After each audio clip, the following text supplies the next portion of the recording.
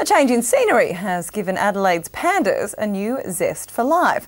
They recently swapped enclosures with surprising results. Jane Riley reports the big move has taken them a step closer to becoming panda parents. Four year old Funi, relaxed and playful, all because of swapping enclosures with her mate Wang Wang. We always thought Funi was a little bit lazy, but since coming into this exhibit, she's completely changed. She's out quite a lot and she's quite a little bit of a character, a little bit of a mischief maker. The big swap was undertaken as part of the zoo's animal enrichment program, but there have been other positive spin offs.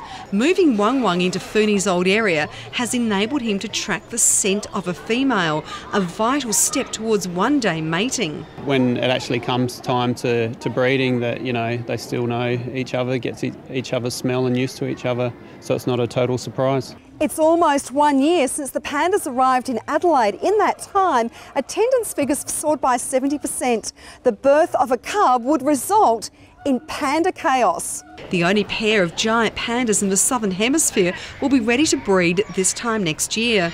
Even today, a Monday, there was a huge crowd, some fans returning up to nine times to visit. They've definitely settled in, both of them. Uh, they're completely different pandas than what we had 12 months ago, especially Funi. She's out there a lot, um, playing and carrying on. Wang Wang's still doing his usual, sitting there eating and watching the crowd.